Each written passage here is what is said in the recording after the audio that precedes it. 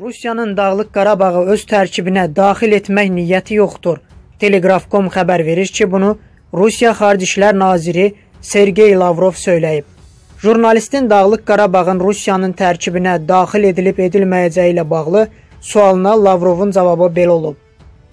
Dağlıq Qarabağın müstəqilliyi Ermənistan da daxil olmaqla heç kim tərəfindən tanınmayıb. Dağlıq Qarabağın Rusiyanın tərkibinə daxil edilməsi haqqında düşüncələrimiz yoxdur. Bölgədəki bütün məsələlər burada yerləşən ölkələr arasında ilk növbədə Ermənistanla Azərbaycan arasında həll edilməlidir. O Moskvanın bölgədə sülh və sabitliyin təmin olunmasına kömək edəcək bir həll yolu tapmağa, kömək etməyə hazır olduğunu deyib.